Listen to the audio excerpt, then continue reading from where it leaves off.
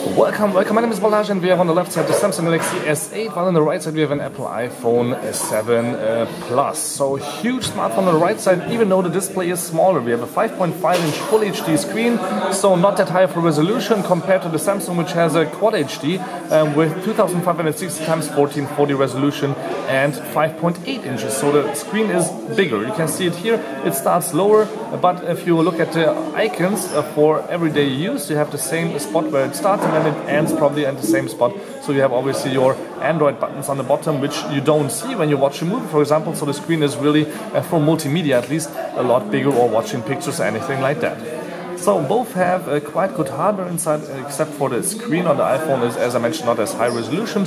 We have 3 gigs of RAM and 4 gigs of RAM, and also I have on both installed an application which is called, or which is a benchmark, where you can see that the iPhone gets a little bit more points because of the lower resolution probably. But you can see that we have here 71,000 points, here we have 60,000, here we have 52, then we have 60, 56.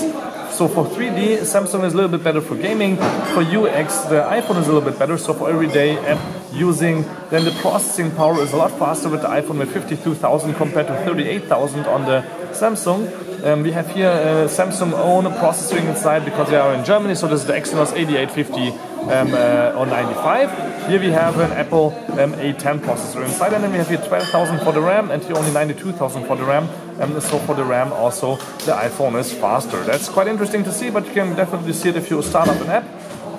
Oh, I'm sorry. Let's start them up both while actually we have closed them all, and we will close them also all the apps in the background, so it's there. So it's again start both at the same time. You will right away see that the iPhone, even with an error or anything like that, it's right away inside the game. It's right there and with Samsung it takes a little while and it asks you for some Google Play things and then we are also there. It doesn't take that long compared to other Android phones, but it's actually, as you can feel, a little bit slower. So let's run or this beautiful game where the light is not perfect, so let me pick both up. And then you can see that the colors on the Samsung are not only nicer, but what I mentioned, the screen uh, is also a little bit bigger for gaming as far as I can feel somehow. And it runs a little bit smoother. It's, it's quite strange because we have a high resolution um, and the processor is actually slower when we listen to the benchmark, but as you were able to feel, the Samsung phone was just a little bit better even with all the apps closed in the background. So what about the camera? Both have a 12 megapixel camera on the back. I will show you the design in a second. Let me look for the camera app right up here. And then you will see that actually, if you look at the front camera where we have here 8 megapixels and here only 7, that makes a big difference also with the lenses probably because the Samsung uh, has just a wider, um, not aperture, but actually just a wider lens angle. So you can see here that the wide angle of the lens is really a lot better with Samsung, but the colors are maybe a little bit more realistic on the iPhone, but I'm not that red in the picture. I just look a little bit nicer and more colorful, but usually we'll take the most pictures with the back device or back camera, which has on both 12 megapixels, and you can see here if I have a, something here to shoot, like a Samsung Galaxy S7, you can see that on the left side the focus is a little bit slower than on the iPhone. The iPhone is just really amazingly fast, and the Samsung just needs a little while because the screen is just so bright. But in terms of colors, I have both at the same spot. So on the device, you can see also the colors for this chair are a little bit different on both devices and the wall, especially on the back. So the standard coloring um, of the camera is just different. But we have also the possibility to zoom um, with the secondary camera, which is also a big plus point for the um, Apple iPhone 7 Plus at concerts, for example. As you can see here on both the 12 megapixel camera, but actually the Apple camera sticks out while the Samsung camera does not stick out at all, and that's also a big difference for I think a lot of people that want to buy a new device. The fingerprint reader is actually on the back. For this, for the iPhone, it's on the front. I will not test those because that's actually quite about the same speed. But in terms of thickness, the Samsung is also thicker with 8 millimeters because it has a wireless charger built in.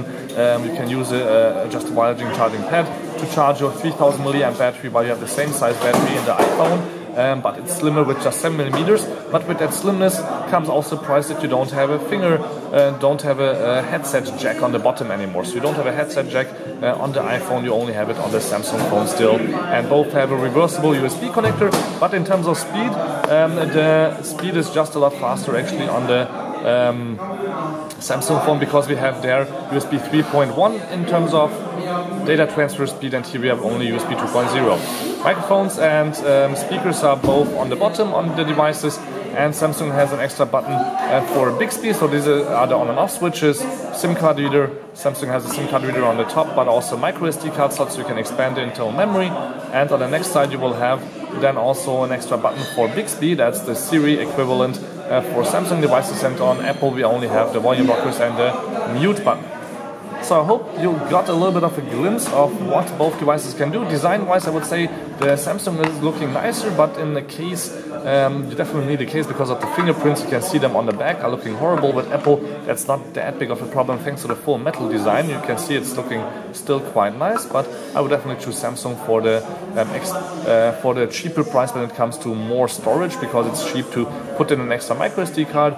Um, also, the speed for data transfer on the bottom is faster. The camera is really good um, when it comes to optical image stabilization, also for 4K videos. But actually, Apple does that also. So, what else? Obviously, it's waterproof. Both devices are waterproof, but now we have also here, as I mentioned, wireless charging built in, and just this huge screen um, on the smaller Samsung Galaxy S8. So I will also do a comparison with the Samsung Galaxy S8 Plus, a little bit more in detail, with bit pictures that I took during the day. This is just in, at an event here, the short little review or comparison. So I hope you liked it. My name is Balazs. Next time, please again, and thank you much for watching.